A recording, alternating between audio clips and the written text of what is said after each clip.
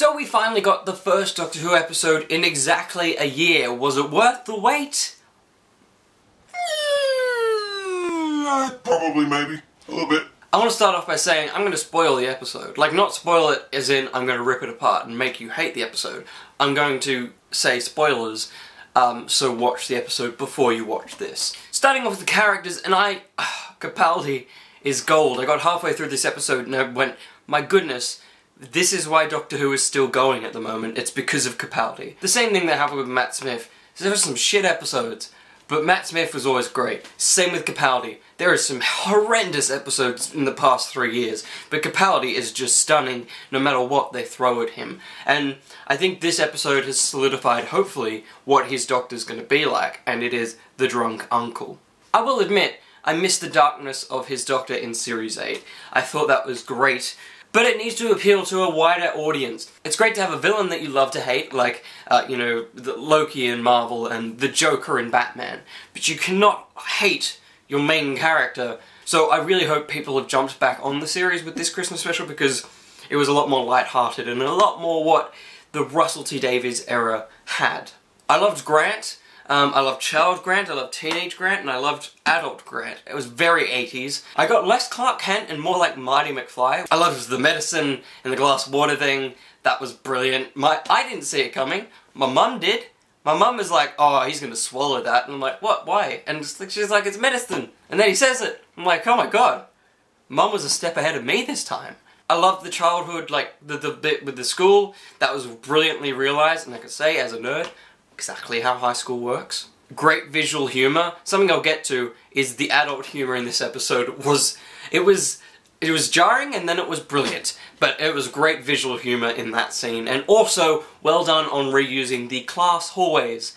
You know, it's great, BBC, reuse the shit out of your, your sets, because you need to save money where you can. I also love that he's a nanny, and Moffat is, is persistent in breaking gender stereotypes, but generally it's very on the nose and it's very in your face. Great that he tries to do it, but he's not very subtle. This one I liked. It was, it was like, it happened for so long in the episode and you sort of went, yeah, that's cool, because dudes can be nannies. And then, you know, she brings it up um, when the villains are like, he's a guy, a nanny, um, and it worked well with Lucy then realizing how much she loved him, liked him, loved him, I don't know what she feels about him, but it worked great for her then realizing he's been there for her all this time. It was good. It was good. It was a, it's a breaking of a gender stereotype that helped the plot, and that's cool. Speaking of Lucy, she was stunning. Uh, her and Grant should be on the TARDIS instead of someone else. She was unique, but also, as did Grant, brought the stereotypes of those uh, 80s superhero films. I thought she was funny. Her and Grant and the Doctor all had great comedic timing. It was like, all three of them, it felt like there was a lot of episodes we haven't seen with them.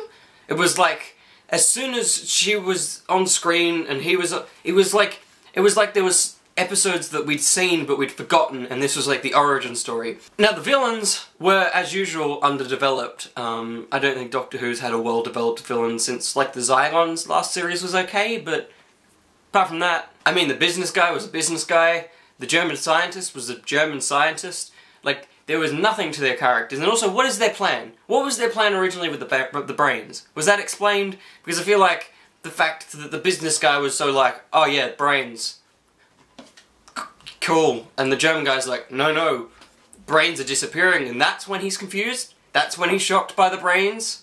The fact that there's more and then there's less and then there's more. Not the fact that there's jars of brains in your company. What was the... What was the human side of keeping brains in jars? Did I miss something? Eh, and at all.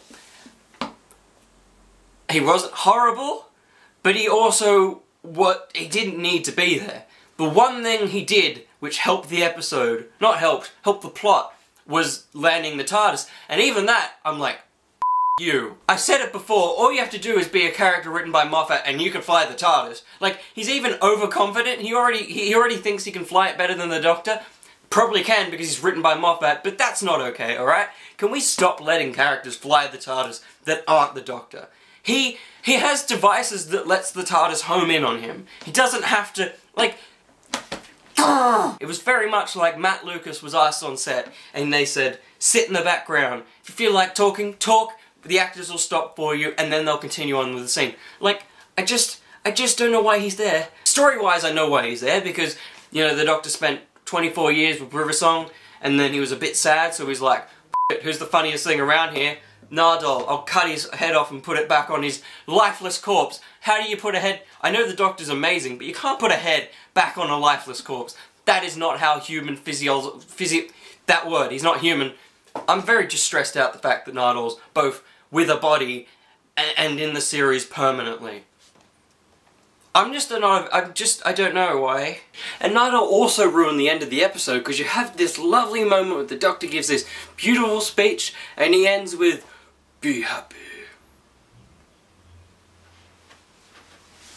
And then Nardole walks in and he's like, "Oh, uh, her name was River Song, and the Doctor's very sad now, but he'll be fine. Eventually, he'll be fine. It's all right. It's fine." It's like, what is the point? You've ruined a beautiful end of the episode. I'm sorry, I know it might be emotional and it's cool to link it, but I feel like the episode already linked the River Song storyline perfectly already with the subtle hints about River making the Doctor sad. I mean, in that one scene, they talk about the Doctor being with someone for 24 years. I just don't think that extra little bit of dialogue was necessary. The Doctor looking badass in the TARDIS with his unbuttoned shirt would have been enough. Plot-wise, as I said, it's very much what Doctor Who needed. It was very light-hearted. It was very straight to the point, where a superhero parody. Um, it never tried to overdo itself. It never stayed outside its welcome. It was just quick, funny, uh, and and it was good. It was a good light-hearted moment for Christmas. I loved the adult humor. I mean, the Doctor told someone that they're full of shit. The Doctor said that in a roundabout way. Someone needs changing. You're not the only one that's full of it.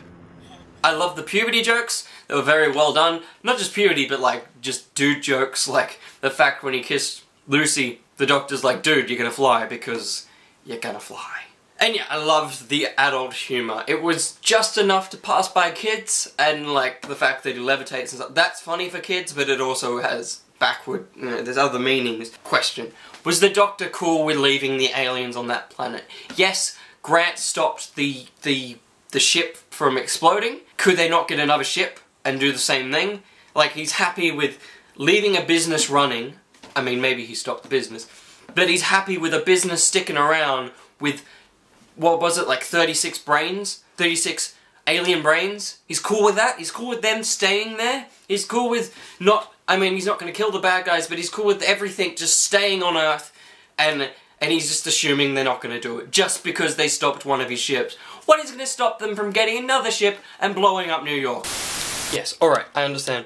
Um, Unit does pop in, I just rewatched. Unit does pop in and help out and clear up, but the brain thing is inside a Unit soldier now. Like, is that going to be like how we had Zygon Inversion Invasion? Like, it's going to have a part two? Because rather than having a part two, the Doctor should have gone with Unit and checked out the stuff and solved the problem there and then.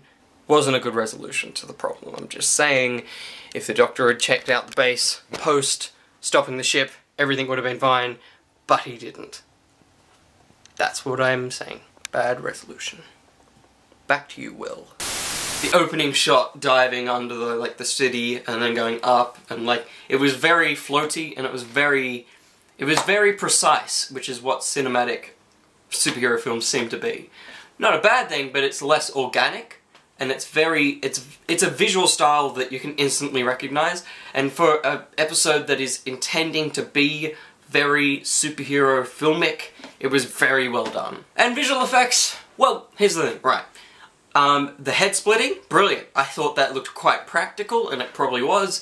Uh, and so it was done very well and it was creepy um, housing a gun within there was very cool and it looked real. It looked very Doctor Who. Real to an extent. Um, I loved the brains in the jars with the eyes. The practical effects behind that were really cool. Very creepy. Very classic Doctor Who, and that's great. But, how is this acceptable in 2016? That is horrific. The Doctor is laying on the ground, and Grant is obviously then just on some sticks. Like, it, when he's flying with Lucy, he's just standing upright. Like, it just looks horrendous. I loved the way that they showed him leaving the house. Like, his clothes dropping, or the glasses spinning on the desk. That's great. Such a perfect way to alleviate the fact that you have to show someone flying. But whenever you show him flying, it looks like crap. Whew. But apart from that, a great episode. Also loved that we got to see some more action of this one. Not that one. That one. I love this Sonic. The more I see it, the more I love it. Obviously not the best episode, obviously not the most Christmassy episode for a Christmas special, but that's fine. There's only so much you can do with a Christmas special. I mean, two years ago, we got to the point where Santa Claus was real in an episode. I wouldn't say well done. Good job, Steven Moffat. Uh, and well done to everyone else. That was a great episode, and I can't wait to see Series 10. The trailer was average at best, but, you know, I'm ready for it. I'm ready for a tonal shift. Um, I'm ready for no more Clara. High five! Thank you. Coming up next will be a Q&A that you've all sent in lovely questions, and thank you again for sending all them. Um, and I'm going to try and get through as many as possible. Uh, also, I will have probably a breakdown of the Series 10 trailer, or just my thoughts on the trailer, a bit more than that was average. But, for now, thank you for watching, and I'll see you in a future video. Mm, bye.